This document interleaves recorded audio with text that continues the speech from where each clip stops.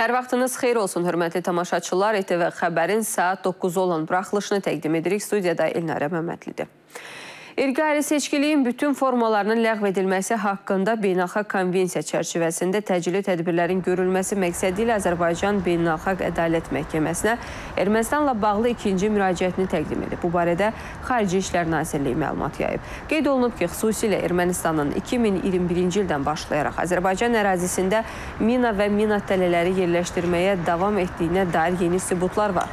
Mina və digər silahların daşınması üçün Ermənistan açıq şəkildə sırf humanitar məqsədlər üçün nəzərdə tutulan Laçın yolundan istifadə edir. Mülki ərazilərin minalanması isə sülh sazişini təhlükə altına qoyan bir təxribatdır.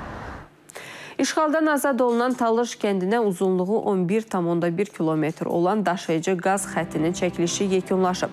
Bu barədə Azəri Qazdan məlumat verilib. Bildirilib ki, tikinti quraşdırma işləri başa çatdırılaraq qaz kəməri qaz təchizatı mənbəyinə qoşulub. Qeyd olunub ki, qaz kəmərinin dəhlizi boyunca tikinti gedişatında ANAMA tərəfindən mina təmizləmə əməliyyatları aparılıb və bu zaman çox saylı mina aşkar olunaraq zərərsizləşdirilib.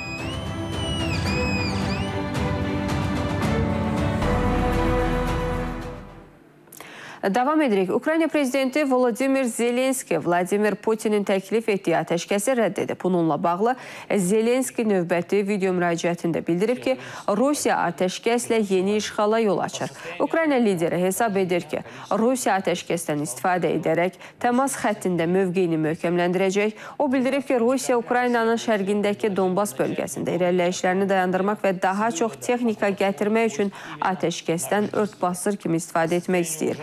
Qeyd edək ki, Rusiya prezidenti Vladimir Putin bugün yerli vaxtla saat 12-dən yanvarın 7-si saat 00-a qədər Ukraynanın bütün təmas xətti boyunca atəşin dayandırılması barədə göstəriş verib. Amazon şirkətində kütləvi ixtisarlar olub. 18 min əməkdaşı işdən azad edilən şirkətin rəsmi nümayəndəsi bu addımı çox çətin qərar adlandırıb. Bildirib ki, qərar iqtisadiyyatda hökm sürən qeyri-müəyyənlik fonunda 2023-cü il üçün planlaşdırma çərçivəsində qəbul edilib. Kütləvi ixtisarlarla ilk növbədə satış və işə qəbul departamentində çalışanlar üzləşib. Və sonda hər il Las Vegasda keçirilən dünyanın ən böyük texnologiya sərgisi pandemiyadan sonra öz qapılarını yenidən hər kəsə açıb. Bəs bu il sərgidə hansı avtomobillər təqdim olunub? Maraqla izləyək. Dünyanın ən böyük texnologiya sərgisi yenidən Las Vegas'a qayıtdı. 1967-ci ildən bəri hər il keçirilən bu sərgi ən böyük elektronika şirkətlərini bir araya toplayıb. Burada yeni növ avtomobillər təqdim olunmaqla yanaşı mühüm sövdələşmələr bağlanılır. Am your ultimate companion. Avtomobil istehsalçıları sərgiyə gələnlərdə maraq yarada biliblər. Burada bu qələmun kimi rəngini dəyişən avtomobillərə də rast gəlmək mümkündür. Avtomobilin 32 rəng çalarına dəyişməsi mühüm göstəricilərdən hesab olunur.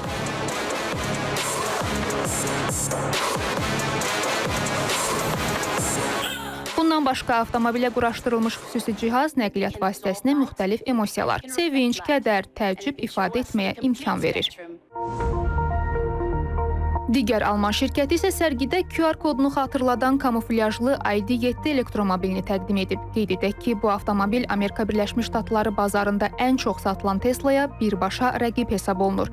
Digər avtomobillərdən fərqli olaraq burada ağıllı rəqəmsal havalandırma sisteminin olmasıdır. Bu sistem vasitəsilə havalandırmanı müxtəlif istiqamətə səsli əmrlərlə yönəltmək və aktivləşdirmək mümkündür. Biz bilirik ki, bu avtomobil birbaşa Tesla Model 3 və ya Polestar 2 kimi avtomobillərə rəqib olacaq. Fikrimcə, bu potensial olaraq satışda olan ən uzun diapazonlardan birinə sahib olan böyük elektrik avtomobilidir. Onu da qeyd edim ki, bu avtomobilin daha ucuz versiyaları da mövcud olacaq. Beləliklə, elektrik avtomobili gələcəkdə daha geniş alıcı kütləsi əldə edəcək. Öz növbəsində Yaponiya şirkəti də yeni yüksək texnoloji avtomobilini təqdim edib. Yeni nəsil avtomobil avtomobillərinin sifarişinin 2025-ci ildə qəbulu nəzərdə tutulub. Qeyd edək ki, sərgi yanvarın 8-nədək davam edəcək. Raya Ramazanova, Aysən Əlikbərova, İTV Xəbər. Belə hörmətli tamaşaçılar, mənim İTV Xəbərin səhər buraxılışından sizə təqdim edəcəyim xəbərlər bunlar idi. Sağ olun.